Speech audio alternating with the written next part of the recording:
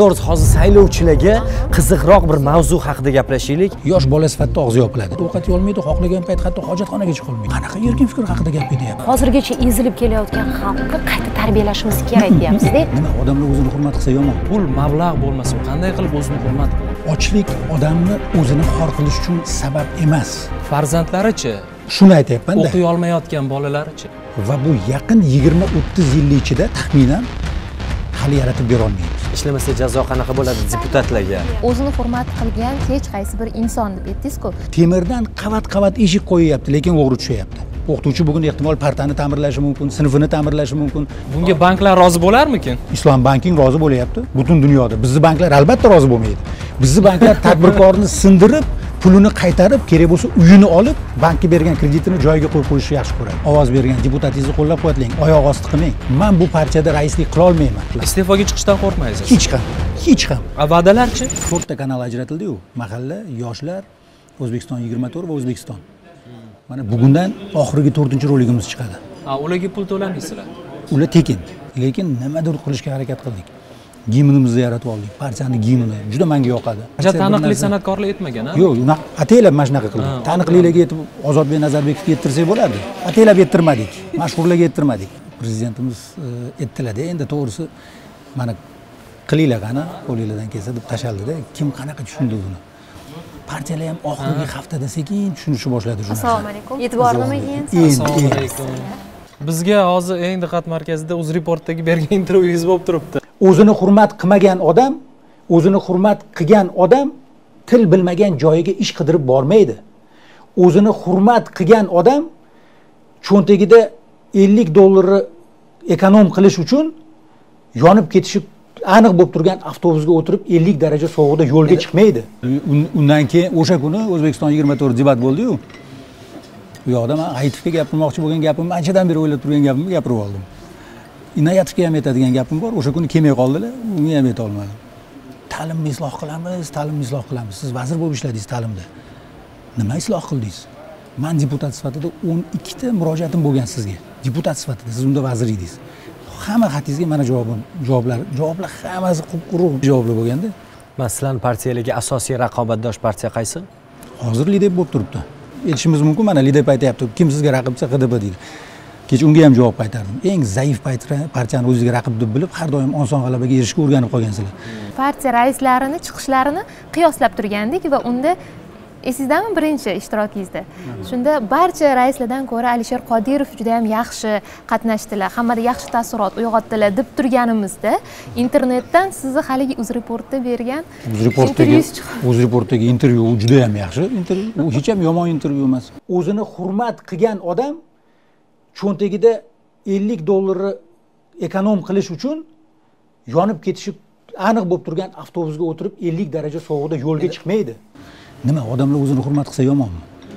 Oyoq osti bo'lib hozir ruslarni cho'chqa qorazini tozalab yuribdi o'zini hurmat qilgan odammi masalan biz milliy yuksalish haqida gapiryapmiz. Aybdor vazirlik ishlamagan tashqi ishlar vazirligi ishlamagan parlament ishlamagan amerikani bitta fuqarosiga hozir bir joyda zirab chekirsin. Masala shunaqangi darajaga chiqadi har bir fuqarosi uchun yuksalishi kim amalga oshiradi? Endi mana hozir qarangda siz siz hozirgacha ezilib kelayotgan xalqni qayta tarbiyalashimiz kerak deyapsizda. Odamni qayta tarbiyalab bo'lmaydi. Oilada bola kichkinaligi paytida ota onasi bilan biror narsani muhokama qila oladimi? Yosh bola sifatida og'zi yopiladi. Bog'chaga borganda tasavvur qiling uni majburlash mexanizmi bor u yerda. Bog'chada bola xohlagan payt ovqat yeyolmaydi xohlagan payt hatto hojatxonaga chiqolmaydi. Qanaqa erkin fikr haqida gap ketyapti bog'chada biz uni gapirishmaslikka o'rgatamiz maktabga o'tgandan keyingi ahvol maktablardagi ahvolni qarang. Maktabda bugun o'qituvchilar ta'lim berayotgan bo'lishi mumkin matematikani o'rgatayotgan bo'lishi mumkin ingliz tilini o'rgatayotgan bo'lishi mumkin lekin tarbiya beryaptimi?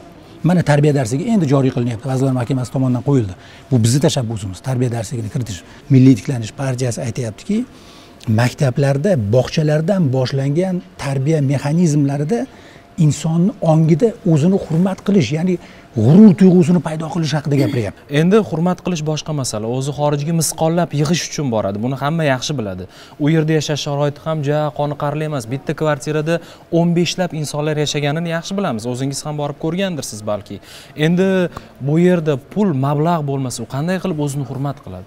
Ochlik odamni o'zini xor qilish uchun sabab emas farzandlarichi shuni aytyapmanda. o'qiy olmayotgan bolalarichi. Biz haqiqatdan ham odamlarimizga ishchi o'rnini yaratib berolmadik va bu yaqin yigirma o'ttiz yil ichida taxminan hali yaratib berolmaymiz. Iqtisodiy o'sish sur'atlari ish bilan ta'minlab berishga yetmaydi. Bizda mehnat resurslari ko'p. Biz ularni joylashtirishimiz kerak. Parlamentda ham bu yerda juda katta nima deydi? Muammolari bor. Parlament bu ishni o'zini asosiy masalalaridan biri sifatida ko'rmagan. Millionlab o'zbeklar hozir qandaydir bir ruhiy komplekslar sabab o'ziga ishonchi yetishmagani sabab o'zini qadrini bilmagani sabab yoki itoatkorligi sababgina xorijda yuribdi deyish bu adolatsizlik. yo'q. Man unaqa Mantiq ham yo'q bu yerda. xulosa qilmoqchi emasman. Xulosa noto'g'ri mehnat resurslarini xorijda ishlashi va daromad qilishi bu judayam tabiiy jarayon. Buni o'zini yerga urish deb hisoblash kerak emas. Bu yerda boshqa narsa haqida gap ketyapti navbahor. Mana amerika qo'shma shtatlarini tajribasini juda yaxshi bilasiz. Bir homilador ayol homiladorligi davlat ro'yxatidan o'tgan paytidan boshlab davlatni to'liq ta'minotiga olinadi qaramog'iga olinadi. Bizda ham shunday bo'lsin demoqchimisiz? Albatta. Shuni qachondan bo'lishi mumkin? Yo'q, mana, mana partiyani ilgari surayotgan uzluksiz tarbiya g'oyasi aynan shu bilan bog'langan. Bu g'oyani ichida to'rtta bosqich bor. O'zini hurmat qilgan hech qaysi bir inson deb aytdingizku ma'lum bir shaxsga emas ayni bir omillarga tegishlimi shunda? Bu yerda biz o'zini hurmat qilish haqidagi gap bu jamiyatda o'zini qadrlaydigan insonlarni paydo qilish yuksalishni keltirib chiqaradi. Tushunarli. Misol tariqasida savol bermoqchiman. Masalan aytaylik bir migrant xorijda ikki oy ishlab sakkiz yuz aqsh dollari bilan o'zbekistonga qaytmoqchi u yuz dollar xarajatni yo'lkiraga ajratdi. Aytaylik shuni o'yladi ellik dollarini olib qo'ysam ertaga farzandimni maktabga jo'nata olaman. Besh yuz ming so'mga qishloqda bilasiz bitta oila bir oy yashashi mumkin. Endi bu yerda pulni chegirib qolayotgan odamda nima ayb? Puli bo'lmasa nima qilsin demoqchiman. bir e, o'sha fikr bildirgan odamlardan biri bitta juda yaxshi so'zni yozdi manga ma'qul bo'ldi shu odam. U aytdiki man hozir ellik dollar chegirib olib o'zimni hayotimni ostiga xavf qo'ymayman. Chunki keyingi ellik dollarni topish uchun mavjud bo'lishim kerak dedi. Tasavvur qilinglar chiqish e, arafasida biz. Boshqa bitta avtobus bor. U avtobus ellik dollar turadi. Narigi avtobus yuz dollar turadi. Narigi avtobus zamonaviy avtobus. Lekin mana bu avtobus oltmish beshinchi yilda ishlab chiqarilgan ikarus misol uchun taxmin qiling. Va uni ichida kanistrda benzinlar yig'ilgan. Chunki kanistrdagi benzin qozog'istonda qimmatroq o'zbekistonda arzon bo'lgani uchun benzin yig'ilgan. Avtobusda isitish tizimi yo'q. Qish mavsumi o'zbekistonda yigirma besh daraja lekin marshrutni ustidan o'tish kerak bo'lgan joyda qirq darajagacha sovuq. Biz avtobusga chiqishimiz kerak. Biz shu avtobusga chiqamizmi? Avtobusga o'sha qozog'istonda o'sha yonib ketgan avtobusga chiqayotganlarni o'zini o'zi hurmat qilmagan yoki mantiqan o'ylay olmagan o'zini o'z hayotini bilib turgan holda xavf ostiga qo'ygan deyish uchun bizda asos yo'q. Nima uchun? bunday xulosa qilish Et- e'tibor bering. nega? Masalan manaman degan eng xavfsiz xavfsiz samolyotlar ham portlab ketishi mumkin. Samolyot haqida gap yo'q, transport de- demoqchimanda. Navbahor siz hozir siz misol uchun mana nyu yorkka uchmoqchisiz to'g'rimi? Tasavvur qiling. Aqlsiz odamlar chiqqan avtobus emas edi demoqchiman. Agar o'sha yonib ketgan agar man e, yoki siz uchun shu avtobusga chiqish imkoniyatida tanlov imkoniyati bo'lganda siz e, ehtimol pulimiz bemalolroq bo'lgani uchun boshqasini tanladi deyishingiz mumkin. Lekin hatto puliga imkoniyati cheklangan odam ham hayotini xavfga qo'yish uchun arzimasdi bu narsa. Agar shu odamlarning oldida tanlov imkoniyati bo'lganda balki o'sha joyga umuman bormagan bo'lardi. O'zbekiston hojatxonalarini tozalab yurgan odamlar o'zini o'zi hurmat qilmaydimi? Yo'q yo'q yo'q masalani nima boshqa farqi bor? olyapsiz yo'q yo'q masalanda mana e, rossiyada cho'chqaxonalarni tozalab yurgan odamlar balki o'zini hurmat qilmasligi mumkin. Shu bois ham shu yerda yuribdi degan. Yo'q gapni yo'q yo'q masalan unaqa unaqa masala aytilgani yo'q. shundan boshlamadimi yo'q o'ziga? navbahor qarang. Mehnat qilish hech qachon yomon ish emas. Albatta. Xorijda chiqib ishlash tanlovi insonni tub maqsadi o'zini ehtiyojlarini qondirish bilan bog'liqmi u inson hayoti uchun xavfli bo'lgan narsani tanlamasin degan ma'noda bizni fikrimiz yana boshiga qaytadi. Inson hayoti uchun xavfli masalani qilmaslik kerak. Nima uchun? Rejani to'g'ri tuzishga o'rgatishimiz chunki kerak u demoqchisiz. bizni u chunki mamlakatni boyligi u. U o'zini asrashga majbur. Hatto muqaddas kitobimizda ham hayot qur'oni karimda aytilgan. Hayot ollohni sizga bergan eng buyuk ne'mati va siz unga xiyonat qilishga haqqingiz yo'q deyiladi siz majbursiz to'g'ri. Qiyinchilikka mana hozir juda ko'p odamlar e'tiroz bildiryapti mani go'yoki hech qanaqa qiyinchilik ko'rmagan. Mani hayotimdan o'tgan qiyinchiliklarni man o'zim juda yaxshi bilaman. Milliy tiklanish taklif qilayotgan deylik platformaga asosan ish tutadigan bo'lsak biz birinchi navbatda juda aqlli vijdonli o'zini o'zi hurmat qiladigan har jihat har tomonlama mantiqan o'ylaydigan har narsani rejalaydigan fuqarolar armiyasini yetishtiramiz yo'q yo'q. Keling aksini o'ylaymiz sizni fikringizni aksini aksi hozir bo'ladi. yo'q aksini tasavvur qilaylik. Aytmaylik mayli bo'pti. O'zini hurmat qilishni o'rgatmaylik.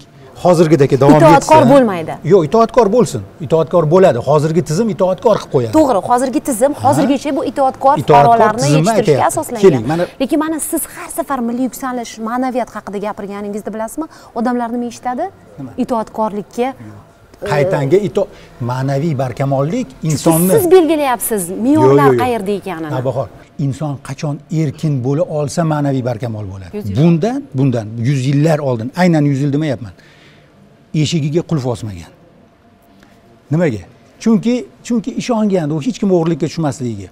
Bugun temirdan qavat qavat eshik qo'yyapti lekin o'g'ri tushyapti qadriyat sifatida biz ko'rayotgan narsa birovni haqqiga xiyonat qilmaslik bo'lgan mansabdor bo'lib o'tirgan odam minglab odamni hayotini yaxshilash uchun kelib o'tirgan odam korrupsiyaga yo'l qo'yyapti. Va undan ham qabihroqi bog'chalarda kechagacha bolalarni haqqini o'g'irlash bor edi. Yo'q emas man deputat Bugungi kunda sifatida ham bor. Marhamat. Hozir ham yo'q deya olmaysiz misol uchun to'rt tonna go'shtni endi tasavvur qiling mana navbahor siz qadriyatligiga e'tiroz bildirayotgan mana shu narsani. Insonni halol bo'lishi yomon narsami insonni to'g'ri so'z bo'lishi yomon narsa emas. Yo'q bu umuman yomon narsa emas. Lekin bu yerda qarshiligi bilasizmi? Nimada? Bu nafaqat mening qarshiligim umuman. Kuzatuvlarimga asoslanib aytishim mumkin. Mana siz hozir ikki uch asr oldin yoki shu buyuk tarix haqida jo'shqinlashib gapirganingizda u yerda bilasizmi? Tarix bilan romantika ketyapti. O'zi uchun joni achiydigan ya'ni harakat qilsin. O'qisin. Pul berib imtihondan o'tishni o'ylamasin. Buni noto'g'ri deb hisoblasin biz oddiygina shuni xohlayapmiz. Va buni xohlashimiz bekorga muhokama qilsanglar juda to'xtatib bo'lmaydi ikkalangizni hozir Lekin hozir- to'g'risi hozir saylovchilarga qiziqroq bir mavzu haqida gaplashaylik. Oddiy savol bermoqchiman. Nomzod sifatida bir san'atkorlarni shou biznes vakillarini qiziqchilarni sportchilarni qo'yishgan. Milliy tiklanishdan ijtimoiy tarmoqlarda biz buni yaqinda raddiyasini beramiz. Bir nechta san'atkorlarni rasmini qo'yib go'yoki e, partiyadan nomzodi qo'yilgan ekan degan ma'noda targ'ibot bo'lyapti va buni kim qilayotganligini ham bilamiz. Kim qilyapti? Ochiqcha gapiravering bloger nomida bloger aynan man ismi shariflarini ham bilaman. Adolat partiyasidan o'zini nomzodini qo'yishgan lekin ular blogerlik imkoniyatini o'zini targ'ibot qilishdan ko'ra ko'proq boshqa partiyani qoralash ishlatishgan. chiqarib birorta milliy tiklanish demokratik partiyasidan birorta shou biznes vakili san'at vakili yo'q demoqchimisiz? Tumanlarda. Ayting kim? Begona bahorda o'ynagan gulchehra opa bir kuni targ'ibotda ishtirok etdilar milliy to'xtang tiklanishdan biz bitta man sizga odamni aytishim mumkin. Uni o'zim tanlab gaplashib shu odam bilan haqiqatdan ham qo'ydik bu yoqub ahmedov. Deylik o'sha san'atkorlar shou biznes vakillari deputat bo'lib qolsa shu aholini muammosini o'rganib hal qilishga bartaraf etishga albatta yo'q. Milliy tiklanish partiyasini bu safargi nomzodlarni shakllantirishda biz o'zimizni tub g'oyalarimizga munosib bo'lishiga alohida e'tibor qaratdik. Boshqa partiyalarni aytmayotgan bir narsani biz qilamiz bu yil. Oliy majlis qonunchilik palatasiga saylangan deputat o'zini okrugidagi uchta tuman uchta tumanni partiya kengash raislari oliy majlis qonunchilik palatasidagi deputatni yordamchilari maqomiga ega bo'ladi va buning uchun ularga qo'shimcha haq to'lanadi. Buni o'zingiz belgilaysiz. Biz belgilaymiz. Necha pul oylik berasiz? Hozir endi u oylik oladi oylik oladi. Tumandan chiqqan tuman kengashini raisi bugun uch millionga yaqin oylik oladi. Tuman kengashi o'ziga ketyaptimi yoki tashkiliy masalalarga ajratib qo'yayotganlar ham siz bormi u haqida o'qituvchilar haqida gapirsangiz agar ta'lim vaziriga bu savolni bersangiz o'rinli bo'lishi mumkin. Lekin bizda partiyani o'zini tashkiliy smeta xarajatlari bor biz e, bizga ishlayotgan odamlarni haqqiga qarab qolganimiz yo'q. O'qituvchilarnikiga o'xshatib. O'qituvchi bugun ehtimol partani ta'mirlashi mumkin sinfini ta'mirlashi mumkin. Partiyalar u pulga qarab qolgan emas dedingiz nima uchun bo'lmasam nomzodlarga bir million so'mdan ajratilgan bo'lsa ularni qo'liga uch yuz mingdan tegyapti yetti yuz ming bu boshqa narsa. Bu sikka beriladigan savol. Biz e, o'zimizni xodimlarimizga beradigan oylik haqida gapiryapmiz markaziy saylov komissiyasini savolga tutish kerak demoqchisiz. Ya'ni bu masalada nomzodlarga ajratilgan pul masalasida partiya e, vakolatli emas. Lekin vazirni taklif etmadingiz bizdan bosh vazirga bu deb. Bor. Bor. Nomzodimiz tayyor manga hozir u ustuvor emas u masala. Man- qiziq, xalqqa qiziq. man hozir xalqni bu masalani biz haqimizda muhokama qilishni xohlamayman. Man hozir bizni saylovchilarimizni bizni parlamentga saylab berishini xohlayman. Biz hozir kimnidir e'lon qilib qo'yishimiz raqiblarimizga o'xshab. Bu bizga ijobiy signal bo'lmaydi. Bu salbiy signal bo'ladi. Bosim bo'ladi demoqchimisiz? Bizni asosiy maqsadimizdan qaytaradi bizni elektoratimiz bizga xayrixoh bo'lib turgan odamlarni hammasiga ham yoqmasligi mumkin. Masalan mana kimlardir e'lon qildi o'zini bizni minusimizga ishlab qo'yadi demoqchisiz bizni asosiy maqsadimiz parlamentda g'alaba qilish hozir. Lekin bu qiziq savol. Siz bosh vazirlikka kimni taklif qilishingiz ham ovozlarga ta'sir qilishi mumkin. Bu, ijobiy ham. ijobiy ham ta'sir ijobiy ta'sir. biz o'lchab ko'rdik. Mana bu qarang. qandaydir sizni yana ham konkret O'lchab ko'rgan bo'lsangiz, demak, minus ko'proq olib keladigan odam. bitta misol keltiraman. Shu- bitta shu misol. bo'ladi yo'q demoqchi, minus keltiradigan odam emas. Bitta misol keltiraman. Biz bugun bosh vazirni nomzodini e'lon qilishimiz yigirma million saylovchiga qilingan signal jo'natilgan signal bo'ladi va tasavvur qiling agar uni ichida uch million to'rt million odamga yoqmay qolsa bitta odam tasavvur qilib ko'ring. Biz bitta nomzod bilan yutishimiz mumkin bo'lgan yuz ming nomzod yuz ming ovozni yo'qotishimiz qayerda? Uch million to'rt million nomzodni yo'qotishimiz mumkin qayerda? Xalqimiz bugun talabchan. Judayam keskin. O'zi taniydimi uni? Mana qo'ydingiz ham deylik. Odamlar taniydimi hozir bilib olamiz sekin qarang. sekin qarang. Kim bo'lishi taniqli bo'lishi asosiy masala emas. Qaysi soha vakili? Nima uchun u sizga ta'sir o'tkazadi? Uni chunki bizni nomzodimiz deb e'lon qilamiz. Mana ekopartiya misol uchun. Ekopartiyani haqiqiy xayrixohlari bo'lgan tabiatga e, do'st bo'lgan insonlarni tabiatga zarar keltirayotgan korxonani nomzod qilib ko'targani ijobiy bo'ldimi salbiy bo'ldimi? Bu osmondan tushadigan odam bo'lmaydi. Bizni kuting deb milliy tiklanish ko'p kuttiradi shekilli. Ko'p kuttiradi. Rivojlanish uchun kutish kerak ozgina kutmasak bo'lmaydi. Mana qiyin bo'lyapti sizni hozir eshitib o'tirganlar o'ylashi mumkin. Mayli milliy tiklanish yutdi ham deylik. O'sha bosh vazirning tanlanish jarayoniga administratsiya ya'ni ma'muriyat qanchalik ta'sir ko'rsata oladi? Bu Konstitutsiyada belgilangan. to'g'ri to'g'ri lekin amalda qanday bu? To'g'rimi? Bir partiya yutsa butun vazirlar mahkamasidagi hamma odam o'sha partiyaning vakillari bo'ladi. Odatda shunday vazirlar. Demak milliy tiklanishdan bo'ladimi hamma vazirlar? Yangi o'zbekistonda yoki murosa qilinadimi? Biz bu e, imkoniyatni e, o'sha nomzodini ko'rsatgan bosh vazirimizga qoldiramiz chunki biz bosh vazir nomzodini ko'rsatganimizdan keyin albatta u o'zi uchun jamoa yig'ishi kerak. To'g'ri lekin Konstitutsiyada belgilangan. kuchli islohotchi komanda kerak. O'shaning uchun konstitutsiyada siz ko'rsatadigan nomzodni prezident bilan kelishish instituti bor. O'shaning uchun biz nomzodni hozirdan e'lon qilmasligimizni tagida masala ham bor. Chunki bu yerda faqat bizda emas vakolat. Biz prezident, bilan ham maslahatlashishimiz maslahatlashish shart. liberallar juda ishonib turibdi. Boshqa partiyalarga qaraganda yana g'alaba qozonamiz biz deb. O'rganib qolishganda o'rganib qolishgan. An'anani sindira oladimi milliy tiklanish nima deb o'ylaysiz? Milliy tiklanish butun harakatlari aynan shunga qaratilgan. Siz o'tgan safar liberallarga ishonch bildirdingiz. Kelinglar bu safar bizga ham bir ishonch bildirib ko'ringlar keyin besh yildan keyin xulosa qilasizlar. Biz besh yil xulosa uchun yo'q besh yildan keyin Xatolar bo'lsa-chi yana? besh yildan keyin hisobot beramizku. Milliy tiklanishdan chiqqan spikerlar bu rejalar yaqin uch to'rt yil yoki besh yilda demayapti. Bizni dasturimizdagi rejalar ikkiga bo'lingan besh yillik saylov jarayonida va uzoq muddatlik.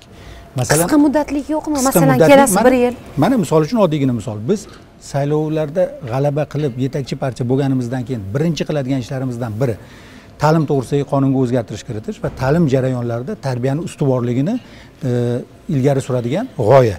Yuragingiz ezilib ketadi pedagoglarchi? Pedagoglarni tayyorlash sirkul siqib bo'yicha tarbiyalaydimi yana yo'q mana qarang bu bo'yicha ham bizni taklifimiz bor. Kim tarbiya beradi degan savolni juda o'rinli beryapsiz. Bugun biz tarbiyachi o'qituvchiga ega emasmiz. Bunaqa ixtisoslik yo'q. Aynan shu sababli partiyani kelgusi yildan boshlab oliy ta'lim ixtisosliklari ichiga maktabgacha bo'lgan davrda tarbiyani tashkil etuvchi tarbiyachi ixtisosligi va maktab davrida tarbiyani tashkil etuvchi tarbiyachi ixtisosligini joriy qilish taklifini kiritgan. Necha yilda tarbiyalaysiz uchun? shunday biz mana shu ixtisoslikni kelgusi yildan joriy qilinishini taklif kirityapmiz. Mana hozir to'rt yil o'qiydimi ular ham? Endi ularni olib kelgungacha biz misol uchun mana prezident maktablari tajribasi borku prezident maktablari tajribasida aynan shu tarbiyachilarni olib kelib kerak bo'lsa xorijdan. Hozirgi pedagoglarni ichidan o'sha uch to'rt yilni ichida masalani qoplab turishga majbur bo'linadi. Boshqa iloji yo'q tarbiya darsliklari kelgusi yildan joriy qilinishi haqida gap ketyapti. Vazirlar mahkamasi bugun o'zini qarorini loyihasini qo'ydi. Yana nimalar bo'ladi? Mana ikkinchisi biz faqat g'oyaviy emas navbahor aytgandek iqtisodiy masalada ham taklifimiz bor. Biz muqobil kreditlash tizimi bo'lishini xohlaymiz o'zbekistonda. Ya'ni? Ya'ni tadbirkor topgan pulga bank ham sherik bo'ladi. bank oldin pul beradi. Tadbirkor o'sha puldan topgan daromadiga bank ham sherik bo'ladi. Keling tadbirkor yillar davomida bo'ladi, bankrot bo'ldi ham deylik bank nima qiladi? Shuncha pulni kim bankrot bo'lsami? Ha. Birinchidan agar bank sherik bo'lsa tadbirkorni bankrot bo'lmasligi uchun yana pul beradi. Hatto bo'pti. Keling siz aytganingizdek eng pessimistik ruhni olaylik va tadbirkor bankrot bo'ldi. Hozir pessimistik qaramasa bo'lmayapti chunki besh yil shunday bo'ldi. Tasavvur qiling tadbirkor bankrot bo'ldi. Bank zarariga oladi. Bo'ldi boshqa iloji yo'q. Bunga banklar rozi bo'larmikin? Islom banking rozi bo'lyapti. Butun dunyoda. Bizni banklar albatta rozi bo'lmaydi. Bizni banklar tadbirkorni sindirib pulini qaytarib kerak bo'lsa uyini olib bankka bergan kreditini joyiga qo'yib qo'yishni yaxshi ko'radi. Chunki qarzdorliklar ko'p. Qarzdorlikka kreditni berishdan oldin o'ylash kerak edi. Va yana hududlarda eng aholini qiynayotgan eng katta muammo nima deb o'ylaysiz? Kommunal masalalar. bartaraf etish uchun kommunal masalalar. Tabaqalashtirilgan to'lov tizimi. kommunal to'lov tizimi. Marhamat. Savollaringizga hammasiga javob berishim mumkin.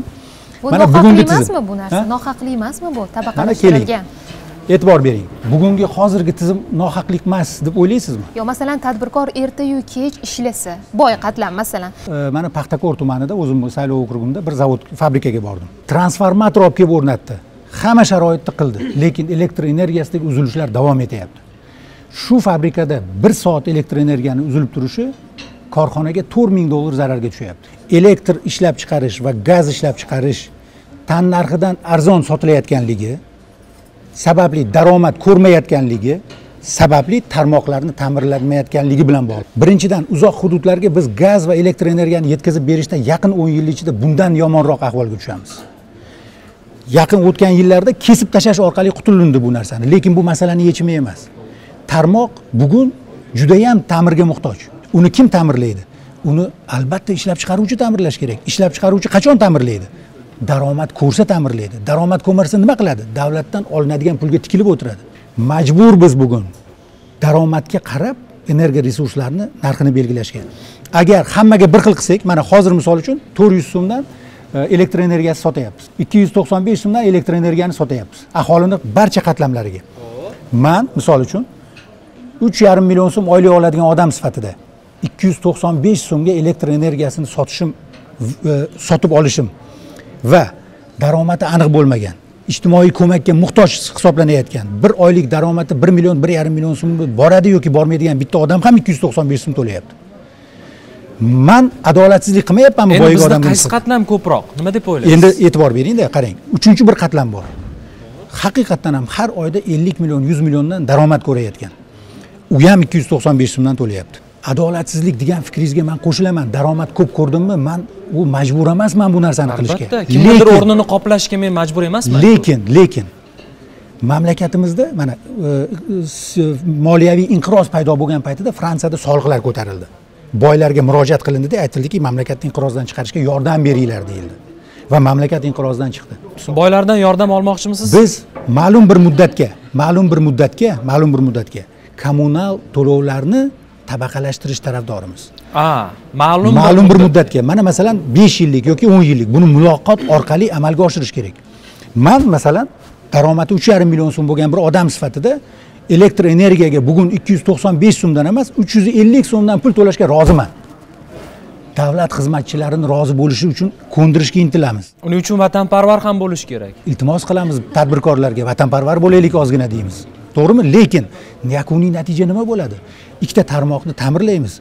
Demak milliy tiklanish demokratik partiyasi tabaqalashtirilgan to'lov tizimidan voz kechmaydi. Yo'q. O'sha vazifalar o'sha dasturlar bilan e, boshqa partiyalar ham tanishtiryapti. E, tok shoulardan keyin xalq quruq gap olib qochishyapti deyishyapti. Albatta.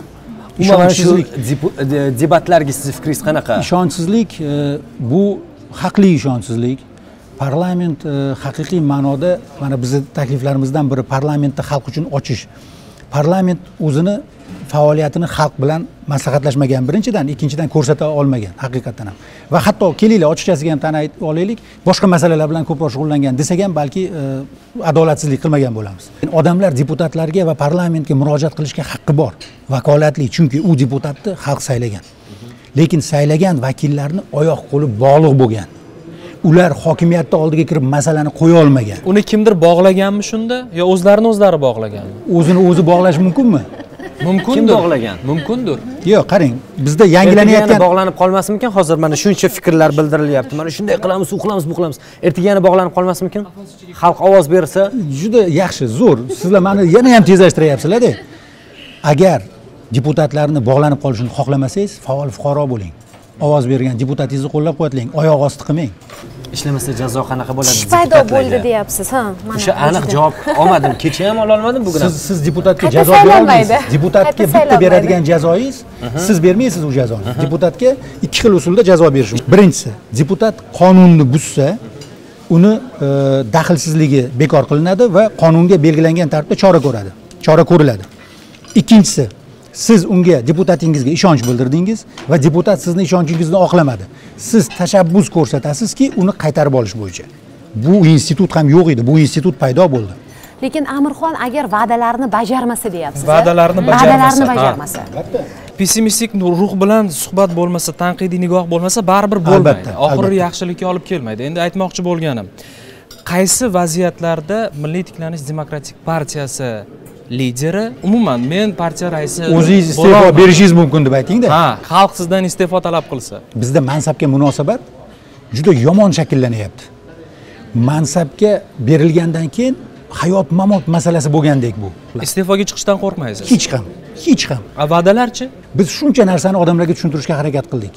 Ertaga saylov natijalari bo'yicha agar biz kutgan ishonch darajasini olinmasa man bu partiyada raislik qilolmayman. Chunki bergan va'dalarimni amalga oshira olmayman mandan faqatgina bittagina yo'lim qoladi. Sizlar manga bu aytgan gaplarimga demak ishonmadinglar.